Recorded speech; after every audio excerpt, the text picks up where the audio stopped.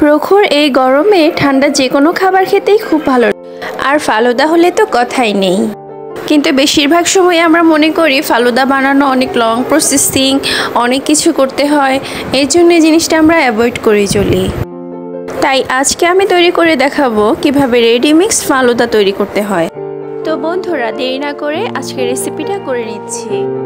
আমি এখানে রাঁধুনি ফালুদা মিক্সটা নিয়েছি। আপনারা চাইলে যে কোনো ব্র্যান্ডের ফালুদা মিক্স ব্যবহার করতে পারেন। এখানে দুইটা জেলো প্যাকেট আছে, একটা সবুজ রঙের আর একটা কমলা রঙের। আরও আছে একটা ফালুদা মিক্স প্যাকেট। আর এর মধ্যে আছে সাবুদানা, নুডলস কিশমিশ আর চিনি। বলতে গেলে ফালুদা তৈরি করার জন্য যেসব নর্মাল জিনিসপত্র লাগে, সবই এর মধ্যে দেয়া আছে। তো এবার আমি এই রান্নার প্রসেসিংটা শুরু করছি। প্রথমেই আমি চুলাতে একটা কড়াই বসিয়ে দিয়েছি। এবার এর মধ্যে পরিমাণ মতো পানি দিয়ে দিচ্ছি। আমি এখানে এক কাপ পরিমাণ পানি দিয়ে দিচ্ছি। এবার এর মধ্যে আমি সবুজ রঙের যে জেলো প্যাকেটটা আছে, সেখান থেকে জেলোগুলো এর মধ্যে দিয়ে দিব। এই জেলোটা চার থেকে পাঁচ মিনিট এভাবে জাল করে নিতে হবে। জেলোটা অলরেডি ফুটতে শুরু করেছে। আস্তে আস্তে পানিটা যখন কমে যাবে, তখন কিন্তু খুব ভালো করে নাড়তে হবে। আপনারা দেখতেই পাচ্ছেন, আমার জেলোটা কিন্তু অলরেডি একদম তৈরি হয়ে গিয়েছে। এবার আমি এটি নামিয়ে ফেলব।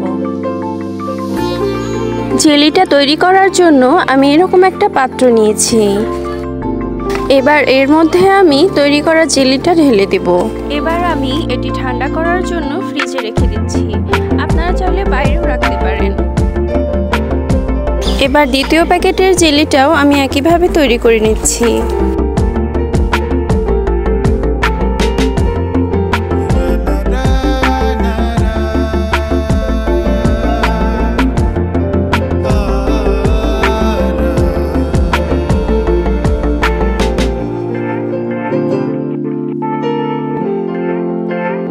এবার এই জেলিটাকেও আমি ঠান্ডা হওয়ার জন্য ফ্রিজে রেখে দিব। এবার ফালুদা মিক্সটা তৈরি করার জন্য আমি হাফ কেজি পরিমাণ দুধ দিয়ে নিচ্ছি।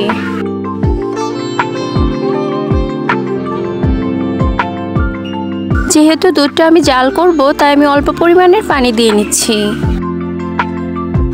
আপনারা দেখতেই পাচ্ছেন, দুধটা কিন্তু অলরেডি ফুটতে শুরু করেছে। এবার এর মধ্যে আমি ফালুদা মিক্সটা দিয়ে দিব।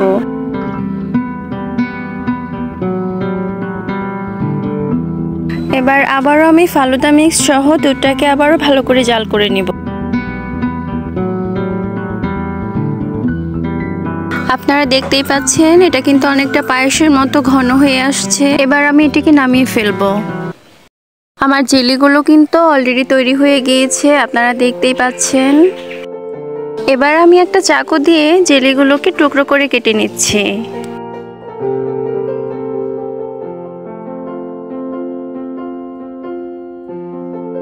জেলিগুলোকে আমি চারকোনা করে কেটে নিয়েছি, এবার পরিবেশনের পালা। পাত্রে ফালুদা নিয়ে এবার এর মধ্যে আমি জেলোগুলো দিয়ে দিচ্ছি। আমি এখানে কিছু কলার টুকরো করে দিয়েছি, আপনারা চাইলে যে কোনো ধরনের ফলই ব্যবহার করতে পারেন। আমি এখানে আরও দিয়েছি কিশমিশ কাঠবাদাম এবং পেস্তা বাদাম।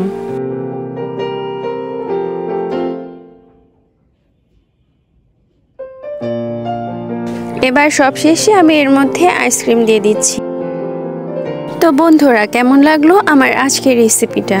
যদি ভালো লেগে থাকে, তবে অবশ্যই আমার চ্যানেলটিকে সাবস্ক্রাইব করবেন আর আমার ভিডিওটিকে লাইক আর কমেন্ট করবেন। ধন্যবাদ, আল্লাহ হাফেজ।